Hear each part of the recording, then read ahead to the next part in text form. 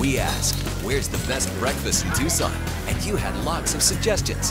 Now it's time to vote for finalists. Have your say on the best breakfast in Tucson. Thursday morning on Tucson Today.